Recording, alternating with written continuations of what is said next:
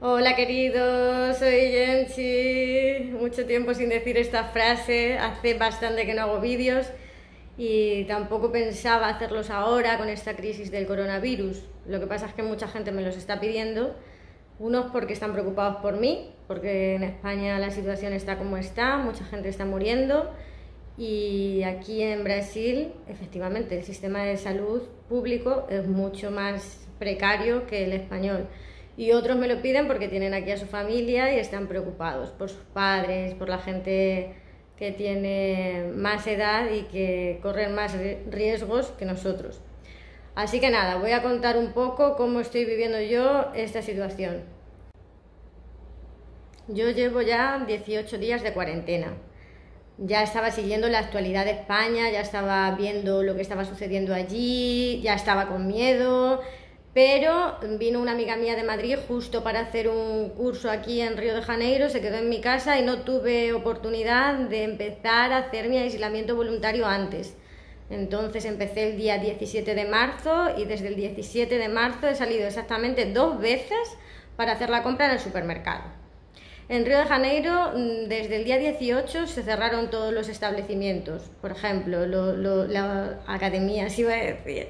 Los gimnasios los cerraron, los centros comerciales los cerraron, los restaurantes, los bares, todos los sitios donde se pueden generar aglomeraciones se cerraron.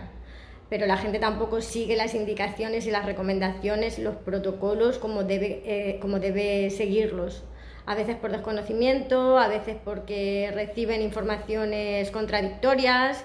Bolsonaro, por un lado, diciendo que no es tan grave, que en Brasil están inmunizados, que aquí tienen otras enfermedades mm, graves y que no les pasa nada. Y por otro lado están los gobernadores mm, poniendo medidas restrictivas que a veces eh, se interpretan como políticamente oportunistas. O sea, hay gente que dice que los gobernadores están intentando aprovechar esta situación para posicionarse políticamente y un día quitarle el puesto a Bolsonaro. Yo no sé si es interés político o no es interés político, pero desde luego el gobernador de Río de Janeiro y el gobernador de Sao Paulo, que son los principales estados, los estados más, eh, más afectados por el coronavirus, están intentando dentro de sus posibilidades y de sus competencias eh, hacer un poco, seguir la línea de lo que se está haciendo en Europa. Ellos ya están viendo cómo en Italia eh, cometieron errores, en España se cometen errores, se han cometido errores y se siguen cometiendo hasta hoy. La gente pensaba, como en Brasil, que era un problema de China, que eso pasaba en China y que aquí no iba a llegar. En España quiero decir que a España no iba a llegar porque era cosa de chinos y llegó. Y aquí en Brasil se piensa exactamente lo contrario. Bueno, eso es un problema de Europa, claro le están dando más bola, le están dando más importancia porque es Europa y Europa siempre se cree el centro del universo y todo eso. Y no es cierto, no es cierto. Yo ya estoy cansada de decirle a amigas mías, a gente que veo que la economía es importante, pero que la vida es más importante que la economía, porque no hay economía que sobreviva sin vida. O sea, ¿tú cómo vas a, a tener un país económicamente potente si tienes a la gente muerta o enferma? Es imposible. Independientemente del país de donde seamos, independientemente de la clase social, independientemente de cualquier cosa, creo que es un momento perfecto para que la gente piense qué es más importante. ¿Qué es más importante? ¿Tener unos pocos euros ahorrados en tu cuenta o vivir un poco mejor, salir, ver a tus amigos o hacer una vida normal o, o tener salud?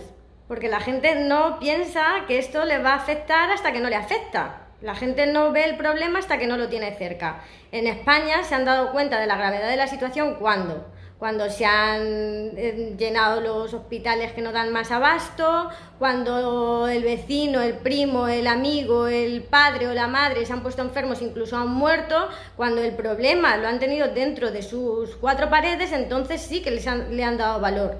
Aquí en Brasil pasará igual. Yo no sé cuál va a ser el impacto que va a tener el coronavirus, porque hay gente que no, que no, que no se lo cree porque piensan que porque hace calor aquí no sobrevive el virus. No hay ningún estudio, no hay ningún estudio que diga que porque hace calor el coronavirus no va a llegar. En Ecuador también hace mucho calor y hay un montón de vídeos de gente conviviendo con muertos y de gente quemando muertos en la calle.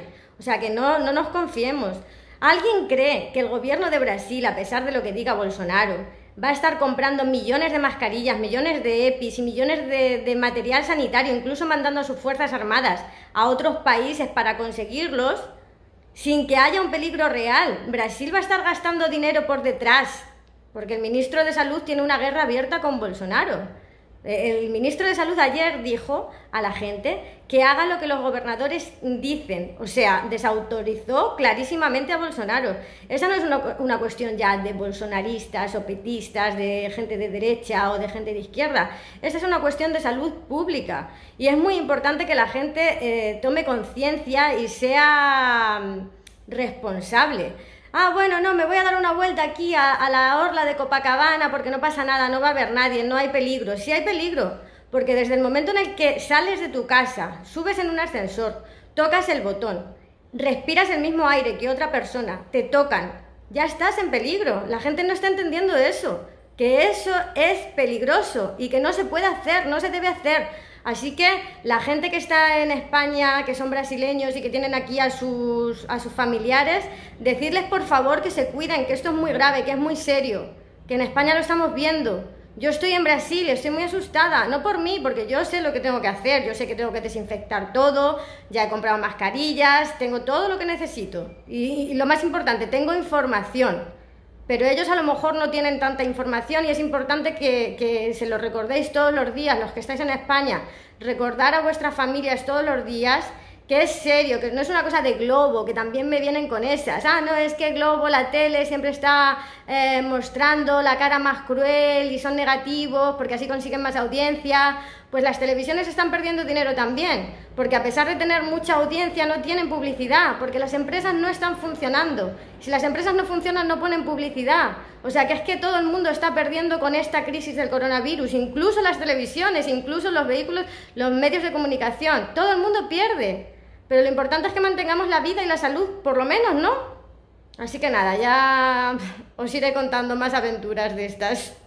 Cuidaos mucho, cuidaos a vuestra, cuidad a vuestra gente, darles, darle atención también, porque eso es muy importante, que la gente no se sienta abandonada, hablar con todo el mundo, esto me está ayudando a mí mucho, hablar con la gente, y ánimo, fuerza y estamos juntos.